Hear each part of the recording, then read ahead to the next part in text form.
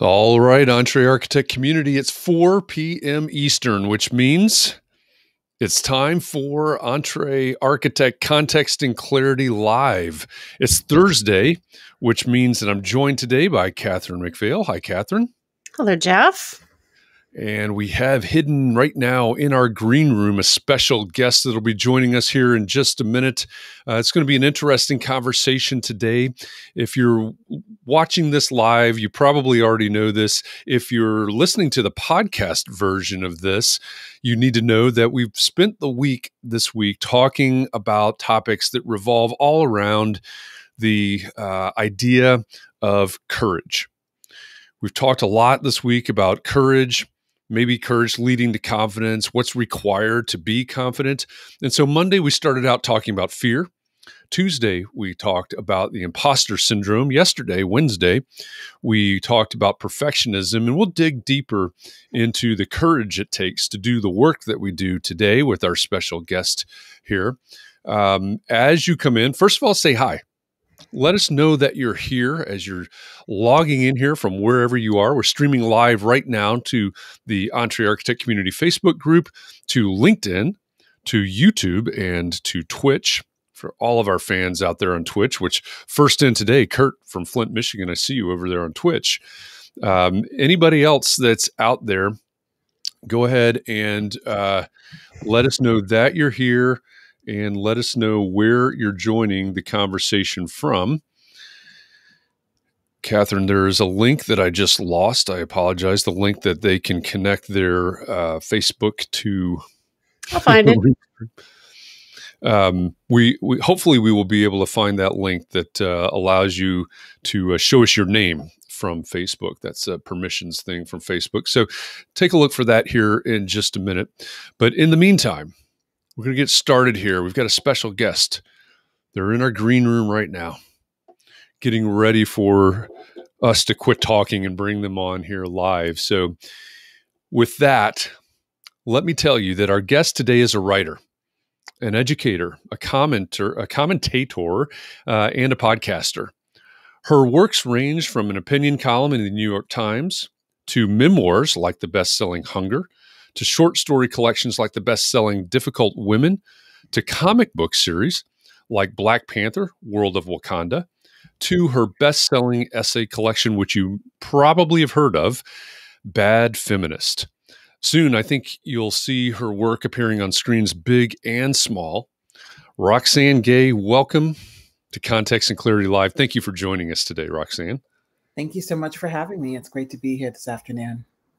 All right, thank you. Um, many of you know, uh, as we do our social media, as we do our announcements, um, that our guest, our planned guest today was Debbie Millman, who's the host of the uh, Design Matters podcast. But Debbie's not feeling well today, so shout out to Debbie. Hope she is feeling better soon. And Roxane was kind enough to uh, take Debbie's place, and so we're we're equally as excited to talk to Roxane today. And um, I see you coming in now, everyone, and and uh, Katharine has posted the link that you can connect your Facebook to uh, Restream if you'd like, so that we can see your uh, see what your name is when you're commenting. So make sure you look out for that.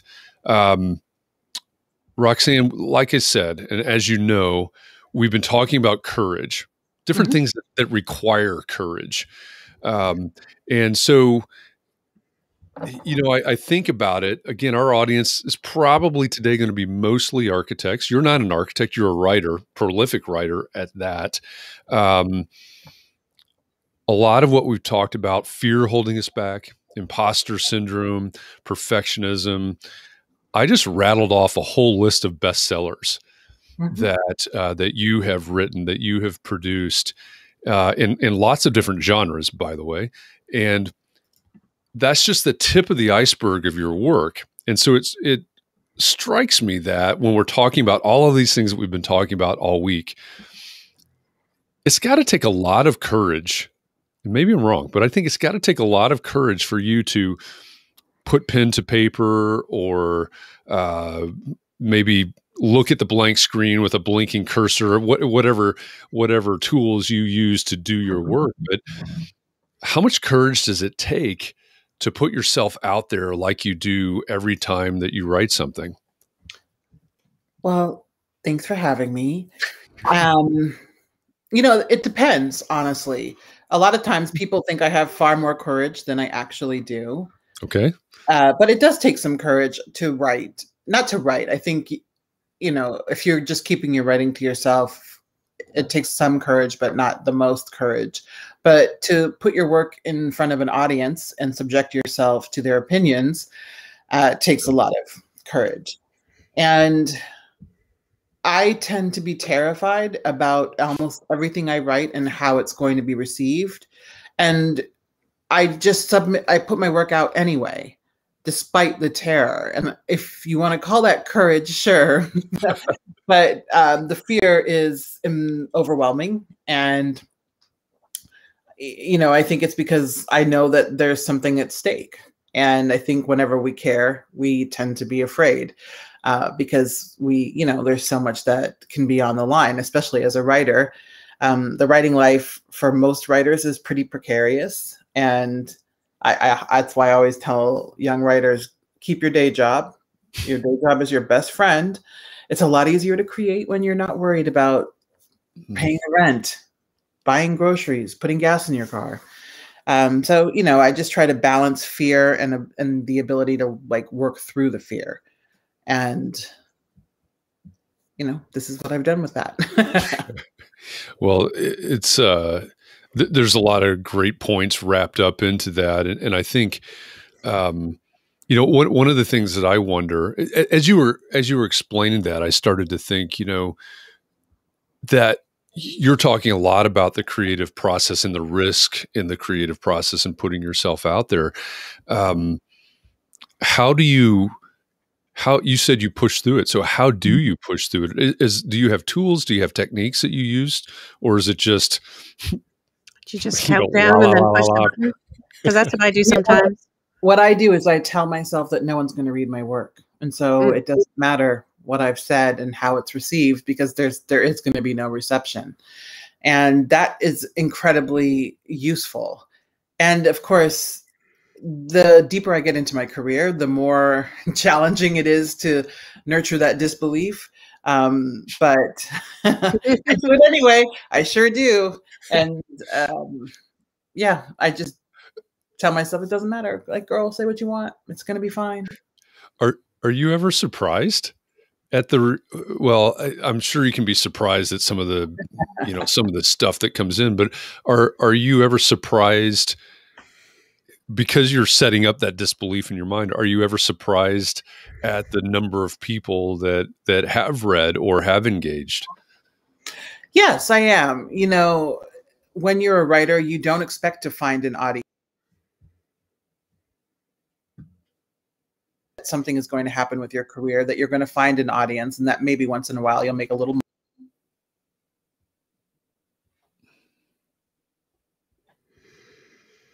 and that audience appreciates what I have to say.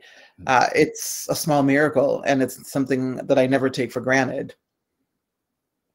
Uh, that's, I think that's an incredible outlook. It, um, you know, for, I think for a lot of us, you know, whether it is a podcast or you are writing, I, I uh, there, there's a part of me that thinks that we ought to go into it not worrying whether mm-hmm. or not there's there's an audience but the reality is and like you said don't don't quit your day job the reality is especially if if we're maybe for this audience who are professionals right professional services so if they're an architect or they're you know they're they're a doctor or they're an attorney whatever they are um, there's different versions of course of putting yourself out there no matter what you do but the um, they're they're required, I suppose, to at least put on an air of confidence. You know, they no patient wants their doctor to walk into the exam room and go, "Yeah, I really don't know what I'm doing." Right. so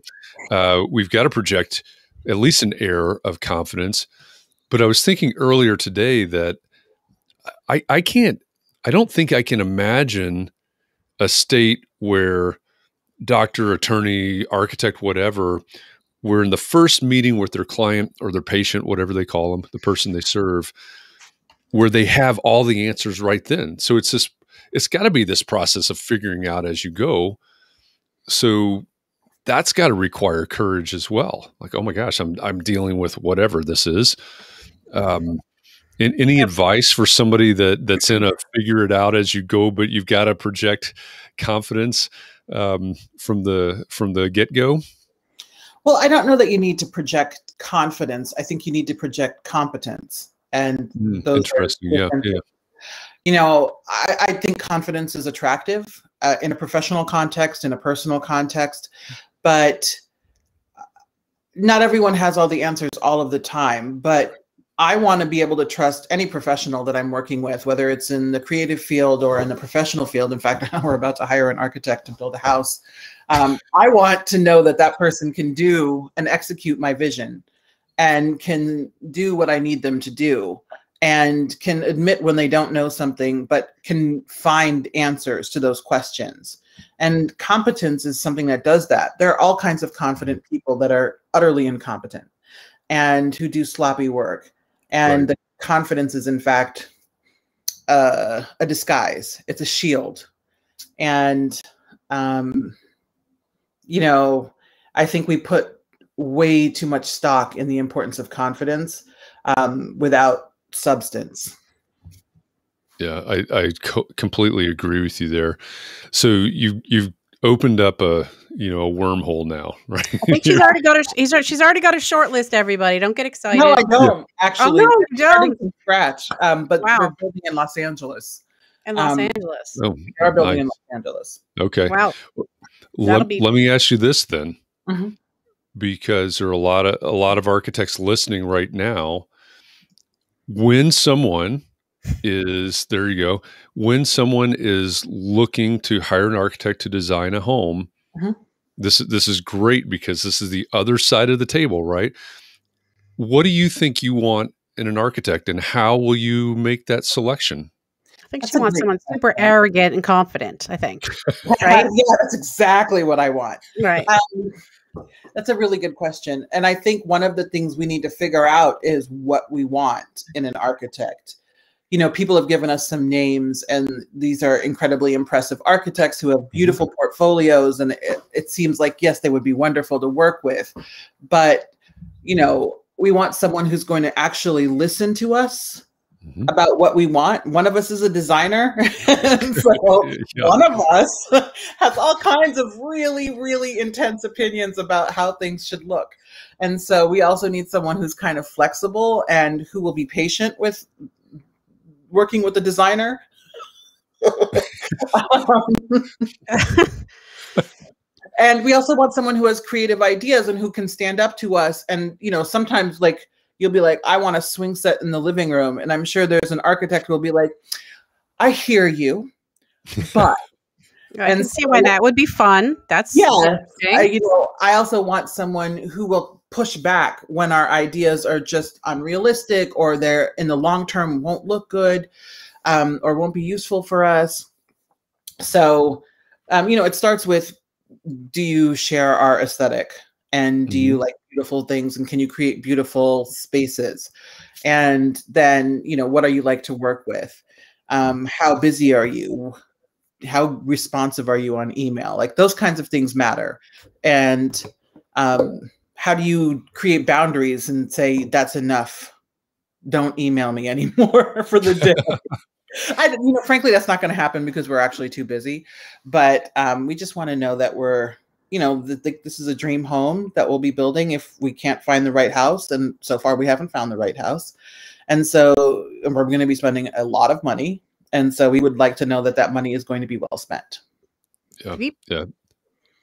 That I mean, all... I'm not even in California, and I just love hearing that. You're going to spend a lot of money. you want a swing set? I mean, that's yeah. I mean, more. we just want to go all out. well, you know, we have a different, we have a couple different like sort of constraints. You know, we both we need two home offices. We need we need a, an in-law suite or a second home on the property for my parents. We need I mean, it's just a lot. And so we need someone who can accommodate all of that. And it's in LA, this is like I don't want to say standard, like everyone has it, but there are a lot of houses that have in-law suites in Los Angeles mm, because sure. there's a, because there's a housing crisis, and the city has decided one of the ways to solve that high, high crisis is to allow people to build these things they call ADUs. Mm-hmm. Um, and so, you know, it's like all of that. And so it's a kind of exciting, but it's also overwhelming. Yep. So if you if you're talking to an architect, right, and they've you've seen their portfolio, like you said, and, and I'm I'm guessing you're going to go through some a set of interviews basically yeah. to talk to these people. Um, do you have any feel? And I know some of it is just going to be you'll get a you'll get a feeling about mm-hmm. someone, you know, just the same way we we get feelings no matter what we're searching for. Um, do you have any idea how let's see how, how do i want to ask this how you might uh, balance all of those things that, that you're talking about and how you might quote unquote score it or is it just going to be a you know I'll, I'll know it when i see it or we'll know it when we see it kind of thing i think it's one of those we'll know it when we see it kinds of things but artists are temperamental so beautiful design is going to be a priority like mm-hmm. i don't mm-hmm. need you to hold my hand i don't need you to be my friend i, I have mm-hmm. friends you know i i do need you to respect me but i don't need you to be warm and fuzzy and so really for me open communication a willingness to hear our ideas but just a beautiful aesthetic is going to be the priority because uh, when the job is done, we're going to actually need to live in the house, not live with the person who designed it. and so, uh, for me, the the artistic skill, the architectural skill, is is most important. And so, I would say like that would be sixty percent of it, if not more. That's kind of interesting because we were talking about. Um, that is actually interesting because we have been talking about emotional intelligence with you know how important is that as architects? People have varying degrees of it and everything, and so so the idea of relating to clients and being able to be um, emotionally in tune with them and that sort of thing is um, something that we think about but so it's kind of interesting to think that you um, aren't it's kind of crushing actually to think that you're not interested in being friends with your architect after because i guess well, we all do that, that happens that's wonderful like I, I i would enjoy that very much like the woman who the realtor who sold me my first house is our realtor now and we we became friends through the process and i think we'll always be friends and so um it's yeah it's just if it doesn't happen it's okay if you're like not a you're, perfect sort of friendly person if we don't jive on a personal level but right. we jive on a professional level it's yeah. totally totally fine that makes sense yeah that's great i guess we like to think we need to be more charming you know and that's going to get us the job but i guess yeah and oh, you know the I, I teach, or, or, sometimes I used to be a professor. Um, I'm taking a couple years off. You know, people tend to expect you to be sort of like they think of it as client services, and it's not. It's mm-hmm. education, um, and so it's frustrating sometimes to have to be expected to be an entertainer and a charmer, but also to be an expert in my field. it's like, wait, you you can have two of those three. You can't have all three. Yeah. Yeah. That's that's a lot of balls to have in the air. It is. Um, I know Katharine is uh, working on a. I, uh, it's too long to fit in there. Can I just re- can I read it and then I'll yeah, summarize yeah, it later? It. Okay, just so we had a question from Rod who said, mm-hmm. "I would like her to talk about the two creator household and the challenges associated with having the space, privacy, energy, support needed and given required to do good work and give good partner." What that last That's part? great question, Rod you know, we're figuring that out right now. What we're doing is um, she's based in uh, New York and I'm based in Los Angeles, and we go back and forth every few months. And it's interesting because we each have very specific spaces, and we also have home office. We both have home offices in both spaces.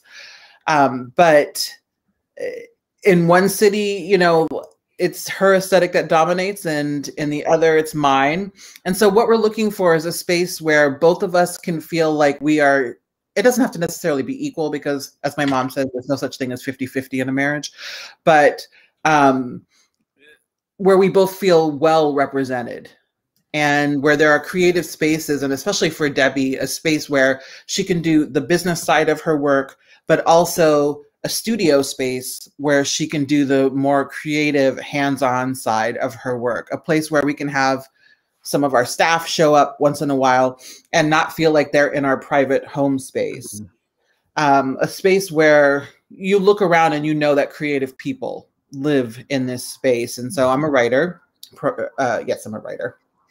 And so you know i have a ton of books. I have a home library. And so, you know, we want to be able to display books. We want to be able to display, we both have significant art collections. And so we want to be able to display the collections. You know, we just looked at a house in Silver Lake and it was a beautiful, beautiful home. And it was uh, Barbara Bestor, which mm. is great. And um, there was not really much wall space. And so mm. as we were walking through it, we were like, yeah, it was the right size. It actually had an office section. It had like lit, it had an in-law suite. It had literally everything we were looking for, but there was nowhere to put the art. And so things like that matter to us. And and that this kind of stuff fuels our creativity, um, both personally and professionally. So that's kind of what we're looking for. And also really lovely common spaces because we do spend a lot of social time together now especially with covid um, things changed and i saw one someone asked you know yeah i was going to put that up there needs for space changed well one ample space to work we actually converted a bedroom a master bedroom we have i have two master bedrooms in, in la and um don't it's not as fancy as it sounds and so we turned one of them into Debbie's home office because it has big windows, it has high ceilings.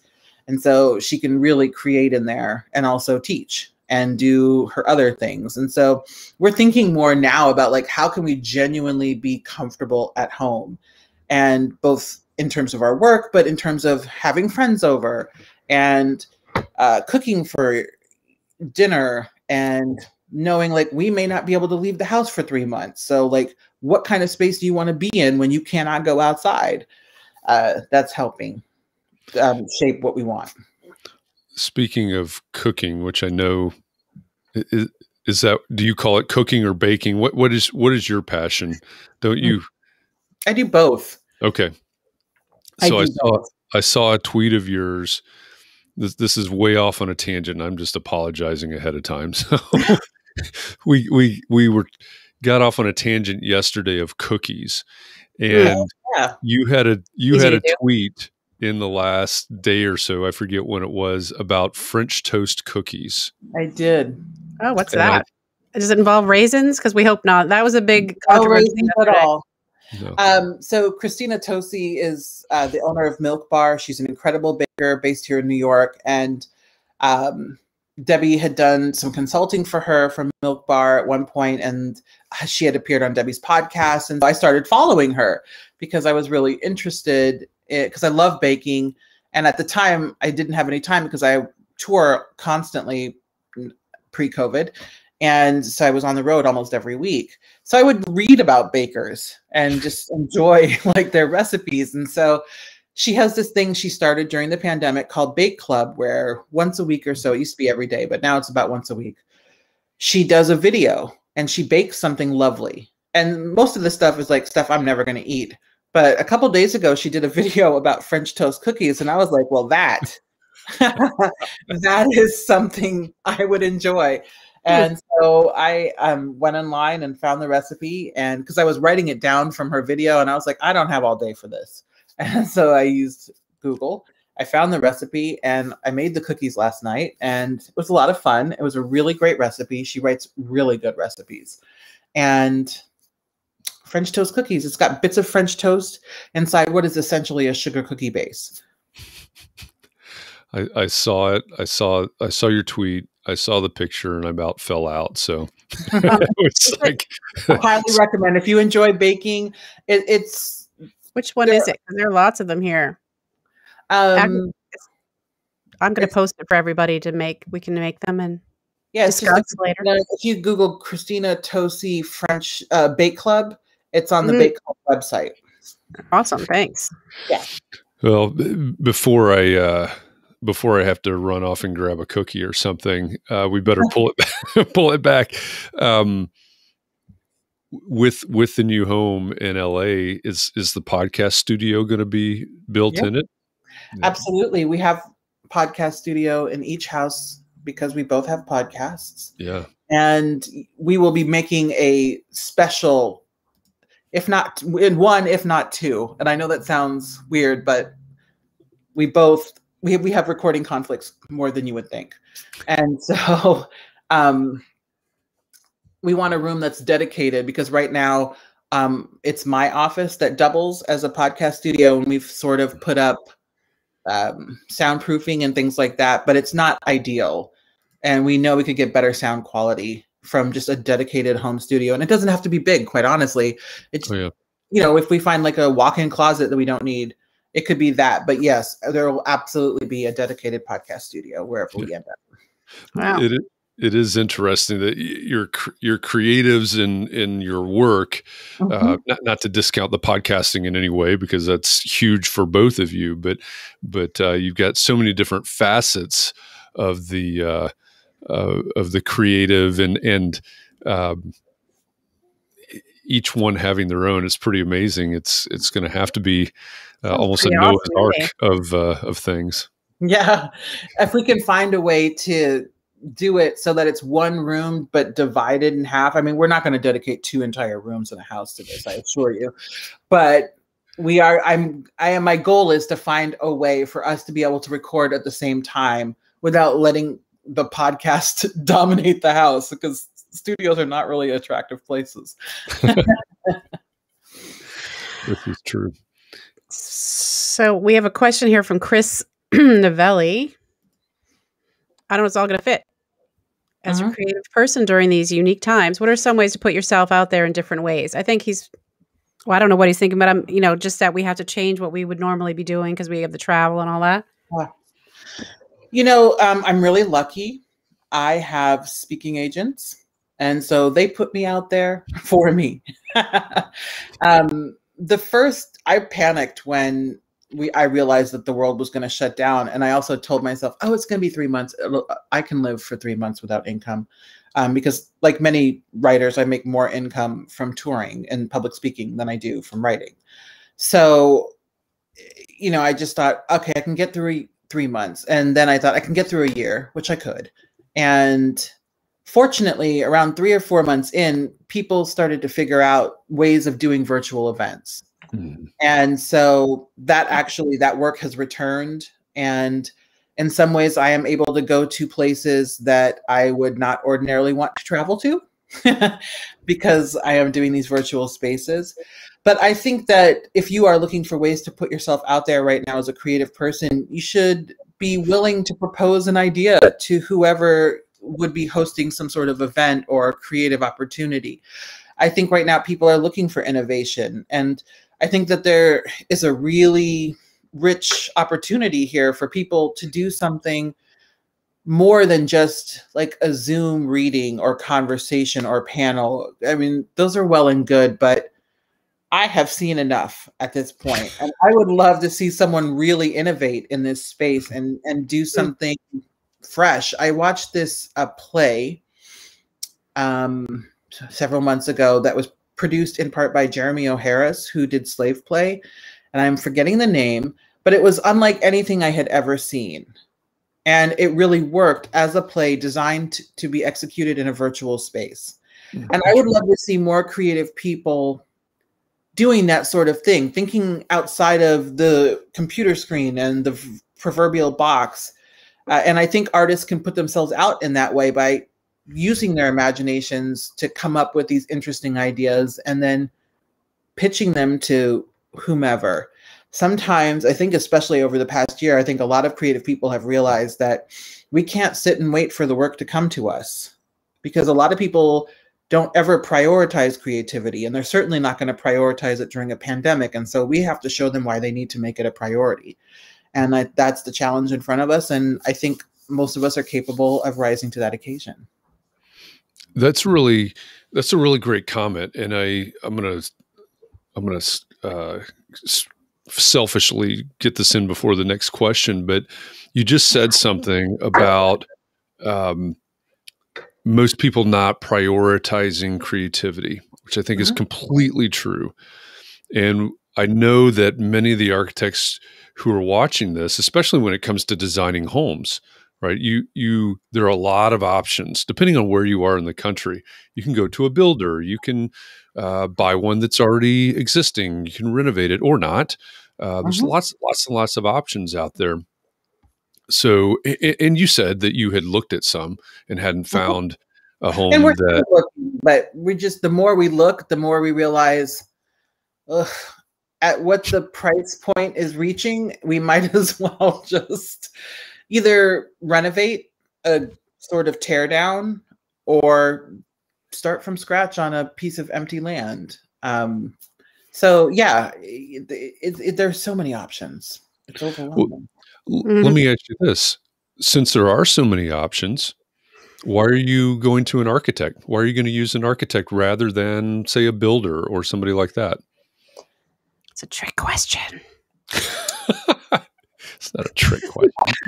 I think we're going to use both, honestly. Well, sure. Um, yeah, yeah, yeah.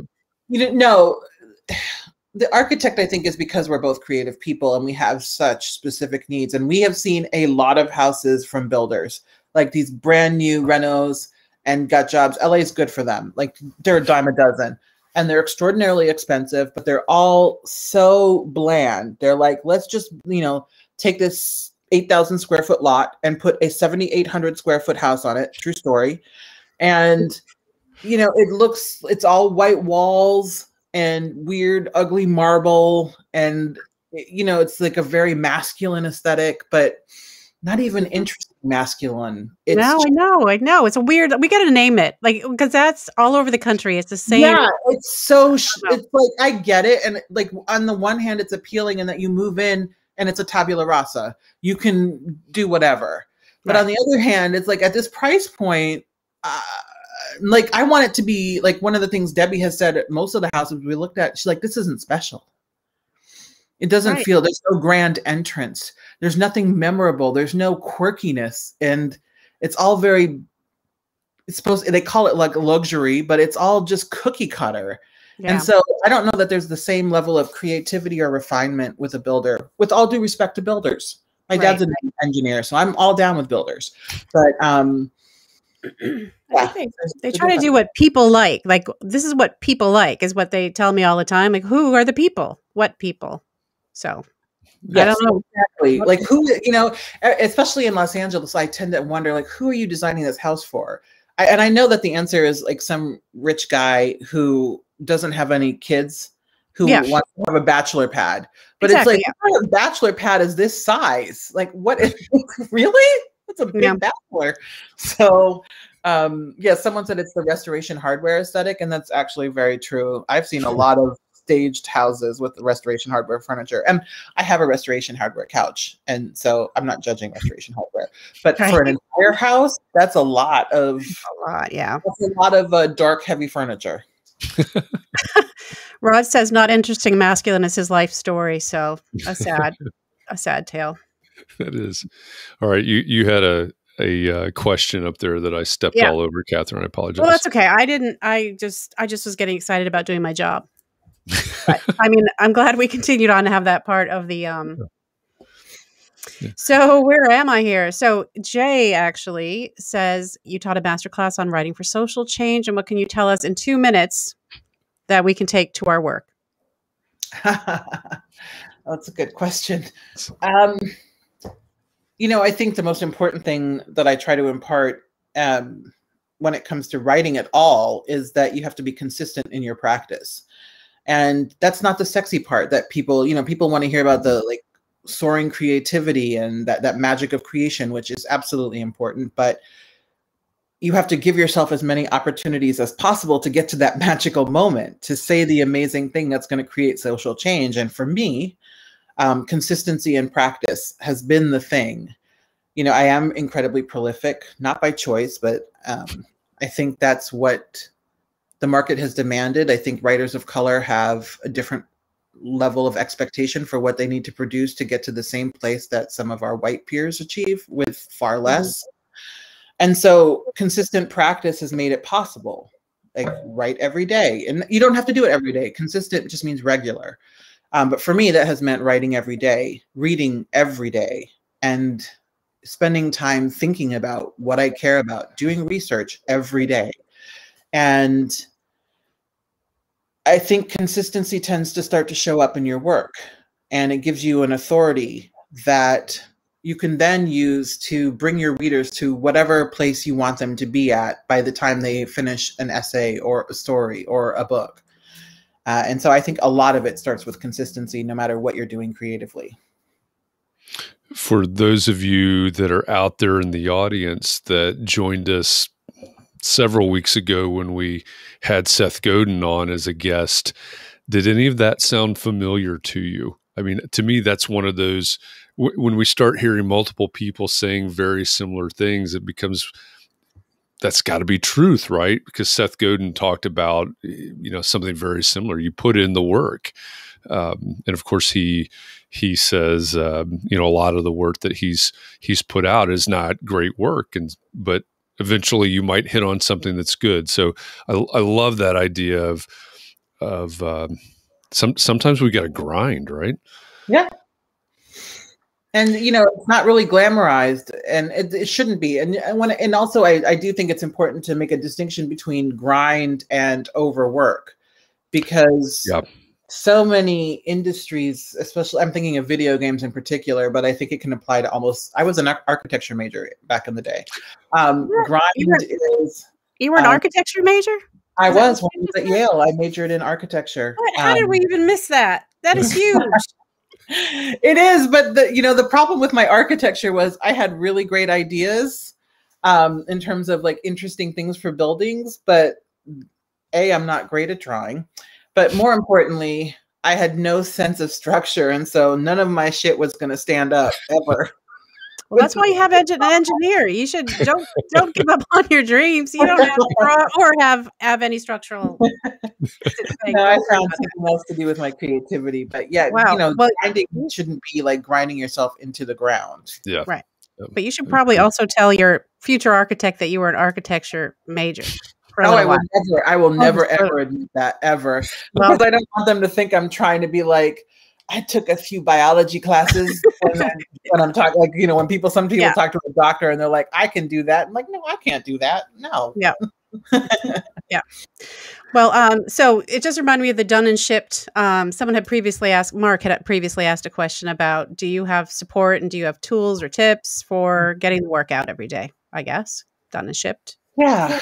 Um, well, I have a full time assistant and that goes a really long way because she does all of the stuff I don't want to do. And also manages my calendar. She manages a lot of emails and scheduling, travel arrangements, uh, coordinating meetings, coming to meetings to take notes. And when you have someone to handle all of those, in fact, I'm about to hire her an assistant. When you have someone to manage all of that, it makes it so much easier to be creative. So many people struggle with creativity because there's and myself included like when you don't have any help you have to do it all yourself. You're not only the creative engine but you're also the mechanic that keeps the engine functioning. And so having support staff has been incredibly useful to getting the work done. Uh, deadlines are somewhat useful but i tend to not make them. So don't know how good of a tool they are and um, just ambition I mean, ambition mm-hmm. work goes does a lot of the work to keep moving forward, to keep creating not only good, not only work, but good work. And so, yes.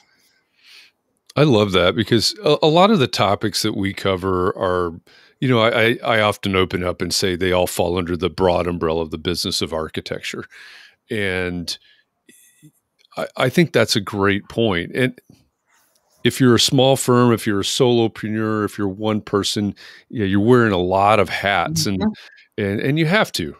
But I, I think that that idea of creating space by hiring an assistant or an assistant to your assistant or whatever that looks like for, you know for someone's context i think creating that space for creativity is a really important idea that i hope everybody takes away from from that comment. Uh, i think it's really important. I'm i'm 100% guilty of as charged but um, that's that's a that's a great great idea great concept there.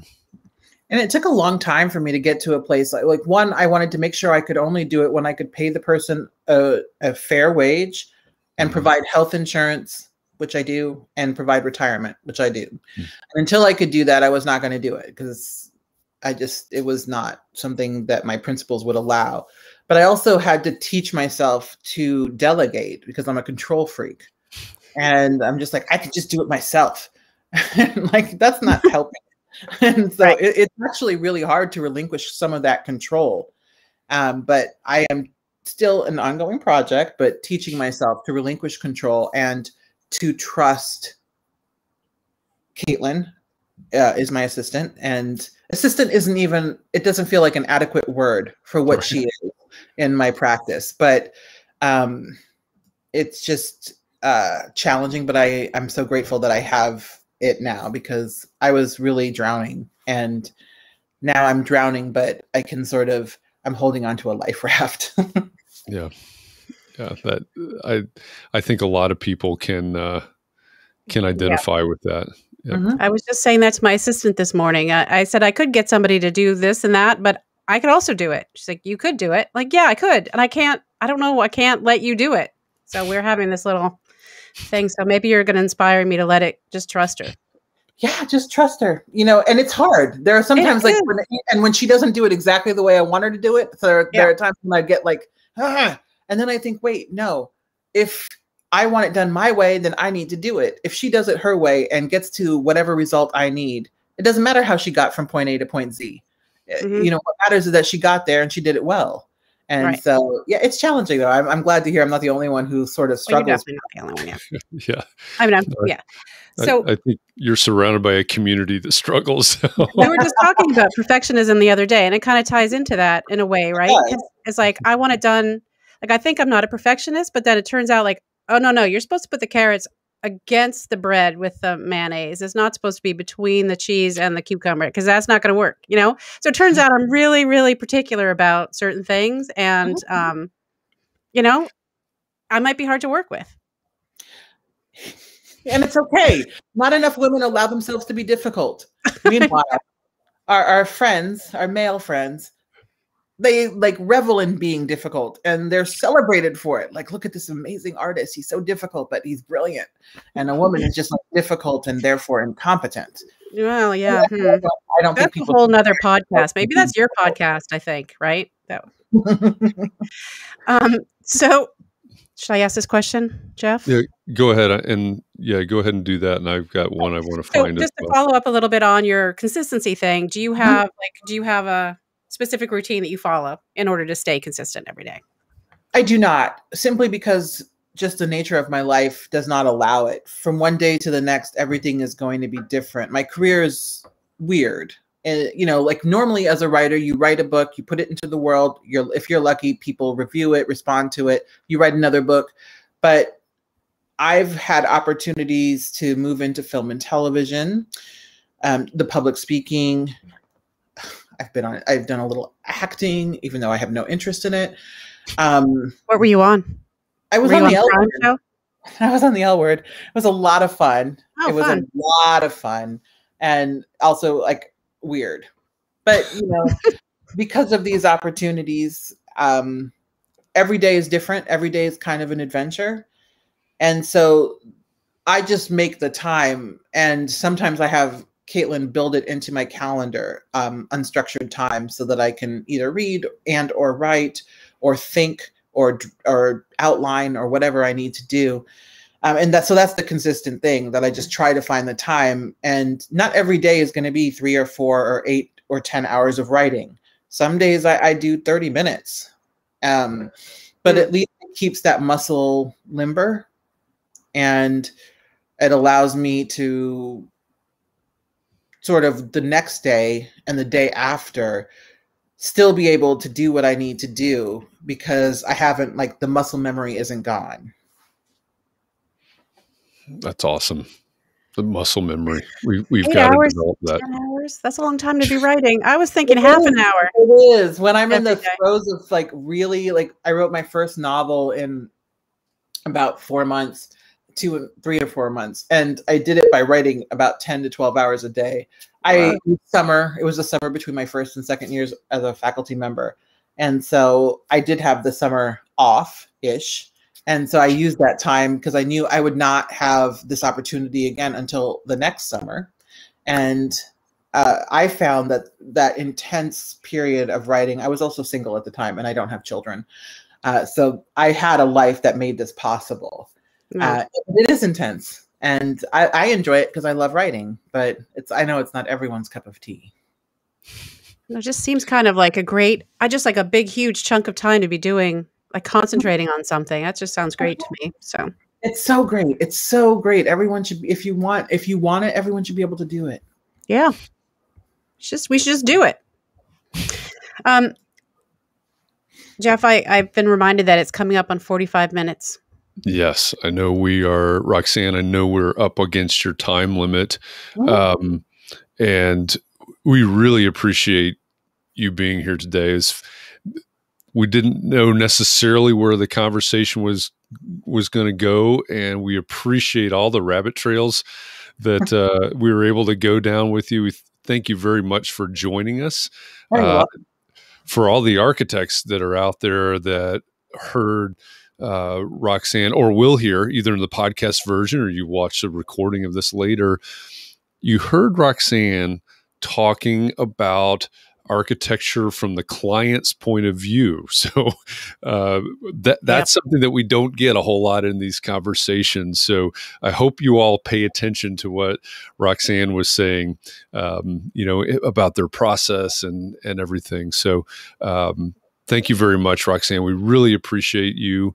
And uh, again, we hope Debbie gets to feeling better soon. And um, before, right before you go, yeah, uh, tell me this: what's what's the next thing that's coming out for you? Yeah, I have a book coming out on November sixteenth called "How to Be Heard," and it's a book of writing advice. And some of it's incredibly practical because not a lot of writing advice is practical. It's more sort of um, like Annie Lamott, Bird by Bird, which is a stunning book. I love it. I return to it, but it's spiritual. And this is more like, here's how you actually get it done. And then it's partly about how to use your voice to make the kind of statements you want and to put the kind of work into the world that you want. And ideally to create social change. So um, I'm looking forward to that book. Excellent. Thank yeah, you for that. And for those of you who are watching this, of course, um, you can find Roxane's work, uh, her her books, uh, I, wherever books are sold. Of course, um, lots of bestsellers on the list that'll be very easy to find. Um, you can also check out her column in the New York Times, as well as her podcast that's called Here H E A R, Hear to Slay. And so I invite all of you to check out Roxane's podcast as well. So, again, Roxane Gay, thank you very much for joining us today. Uh, we appreciate you and this conversation, and uh, we hope that we can uh, talk to you again soon. Awesome. Thank you, architects. And Debbie will be better soon. Just vaccine, you know, it's rough. yeah. I can identify with that. Send us a picture of your new house. We'd love to see what it turned oh, out looking like. will. yeah. Great. Great. Thank thanks. you. Thanks, Roxane. And to everybody else out there, we're going to stay on here for just a few more minutes and wrap this up. Um, questions, comments on the discussion with Roxane. Um, thoughts? What do you What do you think? What did you learn today from this conversation with Roxane Gay? Forgot to ask her if she was going to go on Houzz to find an architect. Uh, you know, I'm thinking I would have answered that question if that's worthwhile, you know, to pay for. Yep, that was probably a missed opportunity. My guess is the answer to that is no. But well, how are they getting the names though? Are they just looking up? Like, are they asking Barbara Bestor for recommendations? I'm just kind of curious. Uh, how does that work? I'm guessing they're talking to people they know. Maybe not. Maybe asking maybe their friends like everybody does. Anyway. Yeah. Yeah, that was um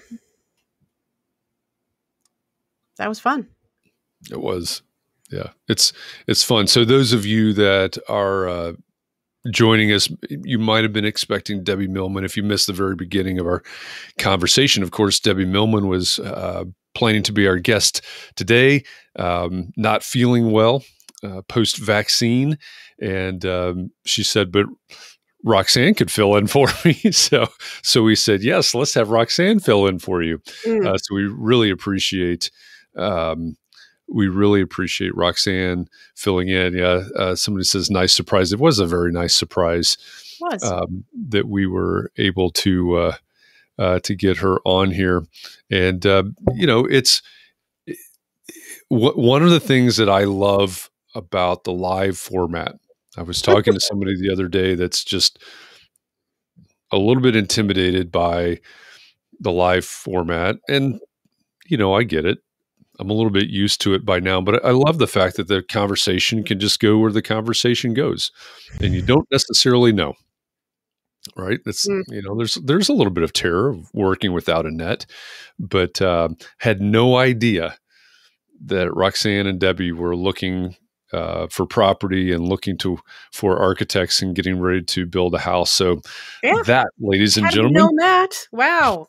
We should ask all our guests if they're renovating or getting looking for an architect. Hey, are you looking yeah. for an architect? because they're all bidding on your project right now as we speak. Yeah, that, that was and also that she was an architecture major in the um in her early days.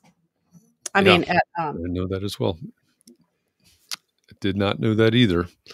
Let's see what else. What are we saying? Uh, Michelle says she did structural drafting for Barbara Bestor's projects back in the day. How about that? Cool. How about that? Yeah, it, yeah, that was um that was just surprising, especially because I googled it many times and that never came up. I guess she's trying to keep it a secret, so maybe we should stop talking about it. stop talking about it. Oh, it's she put it out there, so I think we're gonna be okay with it. Yeah. So Pamela wants to know when do we send them a qualified list of architects for their house? I don't know. I think Pam might have said earlier as well that uh, uh, I don't remember if it was Pam or someone else that said that uh, Debbie probably has some some architect connections. Yeah, she probably um, does. Yeah, I forget who it was that said that. Yeah, she probably has a few. I don't know. I don't hope they don't give Rod. up on the idea of the swing in the living room because that sounds kind of interesting. That does sound interesting. Yeah.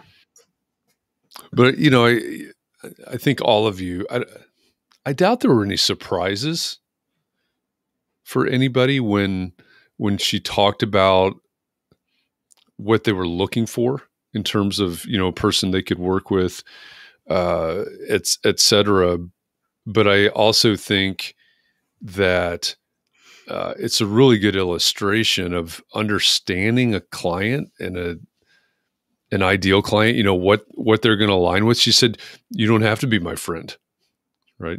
So they're going to value certain things mm-hmm. over other other aspects etc um, you know the the idea that they're going to um, they're doing this because they're both creatives right and they so you know the idea of wanting a place that's tailored to their dual creativity which i think is i mean that's that's kind of fascinating with i it, it feels kind of funny to say they're both creatives. It, it seems like that doesn't quite do it justice.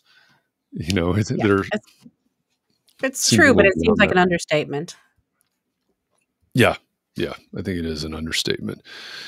Um, Erica says that she would have loved for us to get. Um, let's see love for us to get into those topics of there you go thank you for putting that up there yeah that that's part of you know i guess we, we could have probably driven to that but also wanted to uh, kind of let the conversation where she wanted it to go um, i wondered about that you know do because we did ask her right before before we started you know what do you want to talk about or is there something that you really want to talk about something you're passionate about if she had said that the whole the whole uh, whole conversation would have been about that but that's one of the things that we we ask all of our guests is because many of many of our guests you know, I mean, Roxane Gay is a for instance. There's some expectation, right? Oh, well, she's going to talk about this, or this person has a podcast and they always talk about this, or you know, whatever. Um, so we always ask, what is it? You know, we're pretty sure we know what people expect you to talk about, but what do you want to talk about? Um, that that's just some of the conversations that we have uh, have before we bring somebody on. Not not to discount the idea at all, or say that she didn't want to talk about that. I don't want to say that either, but um, you know, it, it, wasn't something that she said, "Hey, I want to talk about this." So, kind of got a yeah. It was kind of well, obviously, it was a, a last minute. Um, oh yeah. so we were, you know, we we were just kind of going with it. But also, there is part of me that feels like women have other things to say. I mean, I understand that, but I feel like women have other things to say besides always talking about being women in mm-hmm. situations.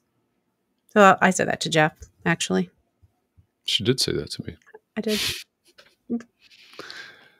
Uh, yep. Mark says, "Love to have her come back to discuss those issues." Yeah, I think if if we were to have scheduled you know, hey, Roxane is going to be our our guest, we probably, uh, well, we would have been a little more pointed about what the actual topic would have been, and it, it may have may have completely gone in that direction. Mm-hmm. Um, yep. She was able to go with the flow. She really was. She really was able to go with the flow. Yeah. Yeah. yeah. So, so just a little more of you know, sort of behind the scenes um, for us, I mean, this this went down very quickly. you know, hey, uh, Debbie's not feeling well. She doesn't think she can make it. Um, suggested that Roxane may be able to do it, um, and then of course Roxane said, "Yeah, I can, I can, I can do it." Um, which which we appreciate. We really appreciate that because most people would it would just have been a canceled, right? And then we would right. would have been trying to figure out what to do. Mm-hmm. Um, on the backside of it, we've got to shift gears and figure out, okay, what do we talk to Roxane about? Um, you know, what what questions do we ask? What, what's the bio? You know, what's the setup? All, all those sort of logistical things, um, and then to have somebody come on the way she did and totally go with the flow. That that might have been one of the easiest conversations we've ever had. I mean that that's to me. So you know, as as the person sitting in this chair, and and you know, I, w- I want Katharine to chime in on this as well. But for me, sitting in this chair, Roxane Gay was super easy, super kind, um, super accommodating. This was a really easy conversation to just let it go where where it would go and where she wanted wanted it to go. So I really I enjoyed yeah. this a lot. I did too, and I I mean I would love to have her back and talk about um, social issues and. But I also think it was pretty interesting to imagine her as an ideal client. Like if so I mean that's a totally different thing and maybe a much lighter topic, but it just this is a um probably a person we'd all would love to create for. Mm-hmm. You know, so imagining just seeing that. I like that. I like that aspect of of um it's a little more personal to what she's doing and thinking about on a personal level, you know? So, yeah. Yeah. I, I think that is, you know, when you're, when you talk to a client, when you're working with a client and then, you know, get into what makes them tick, you know, where they're coming from. Because it's, it, eh, I look at a Roxane Gay and you know, like I said, when this when this all started changing, right? And so Katharine and I spent a week preparing for who our guest is going to be, and it it mm-hmm. changes a few hours ahead of time. And yeah. so, oh my gosh, what can we what can we learn? What can we do to prepare mm. um, in the next hour and a half or whatever it was? And you know, you just you can go to roxanegay.com, which is actually her website. You can see this list of all the things that she's written, which is amazing.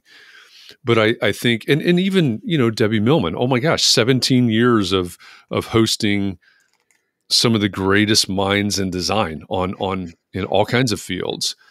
And I, I think for me, it's really easy maybe I'm unique in this, maybe not, but it's really easy to go, okay, well, this is what Debbie Millman is like, or this is what Seth Godin is like, or this is what Roxane Gay is like, or this is like Brian Kramer last week. This is what he's like. But still, that that piece that we see is just this much of them. Yeah, it's like the thing that they talk about every time they go out somewhere. Yeah.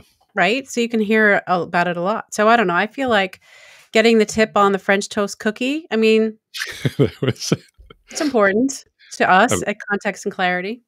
I was very happy to hear that there were no raisins involved. there could have been. There could have been. You could still add them. No, no. not me, not you, but someone else. Okay. Let's let's be clear. Raisins are okay as long as they're not masquerading as chocolate. That's that's yeah, that's true. When you mistake the them for chocolate, is disappointing for sure. Yeah. yeah. No, no. Disappointing is not the right word. okay. Yeah.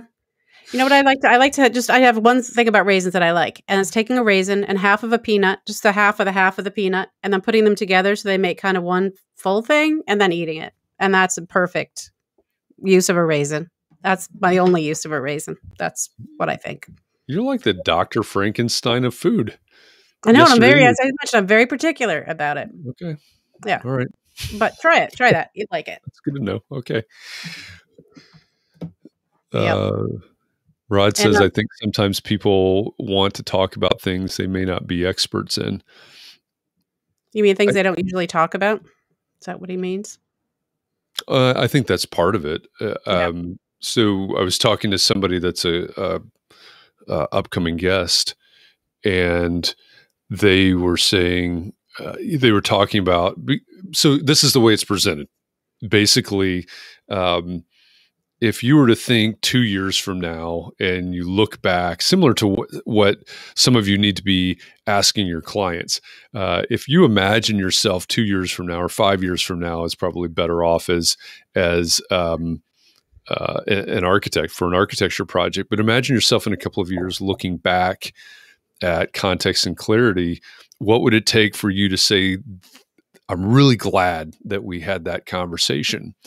And so I asked that question of a future guest the other day, and uh, a lot of a lot of what they talked about was the things that they're exploring right now.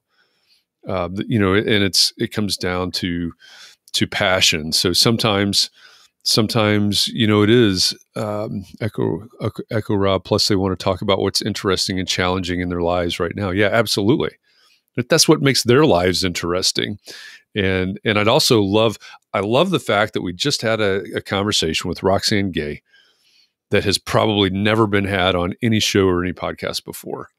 Yeah, there you mm-hmm. go. That's what I mean. I like that about it. Mm-hmm. Yeah.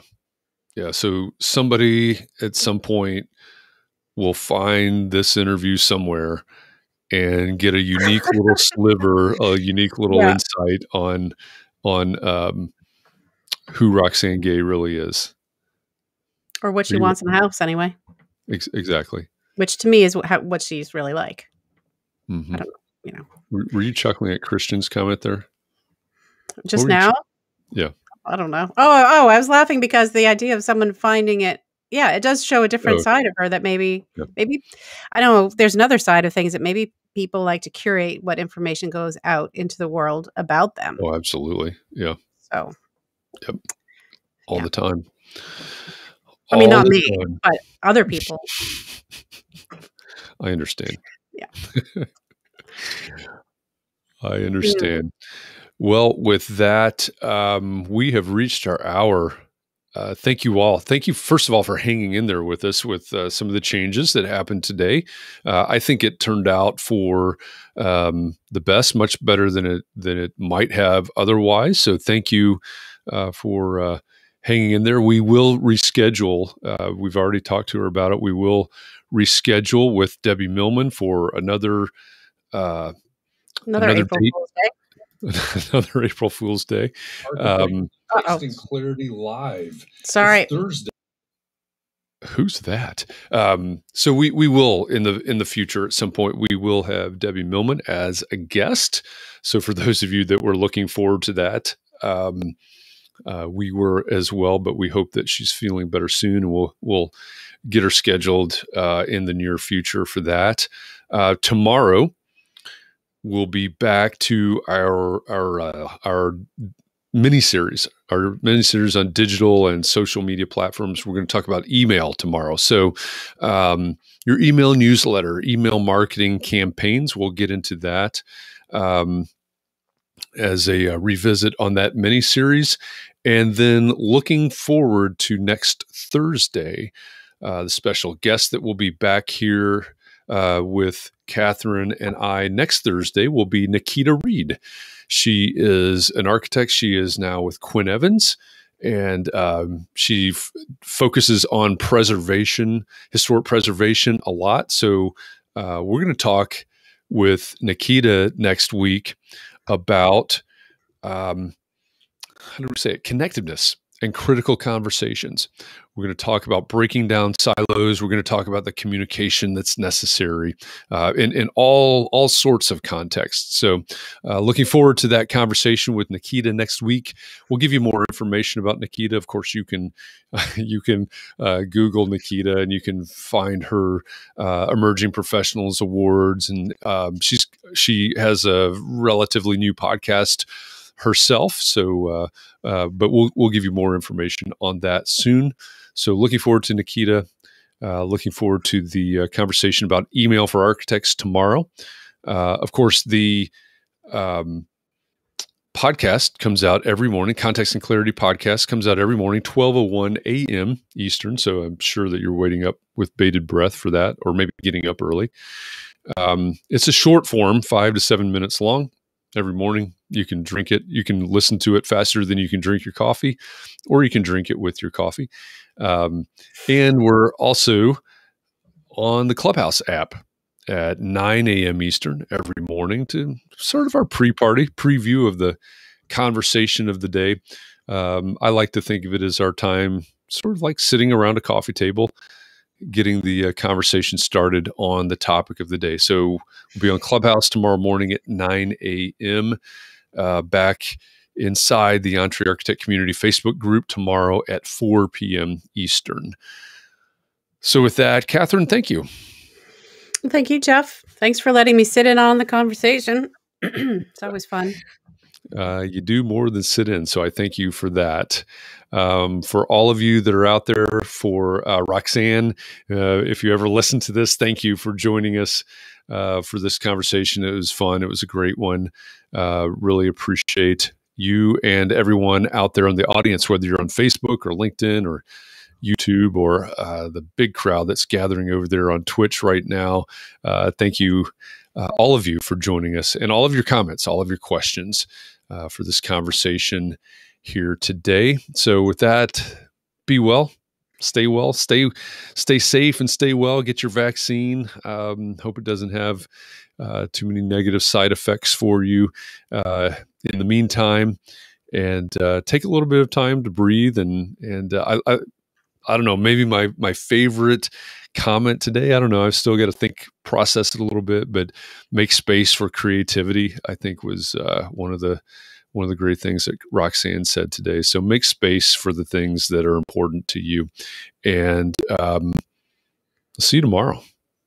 4 p.m. Eastern inside the EntreArchitect Community Facebook group. Thanks, everybody. Have a great evening and see you tomorrow. Good night.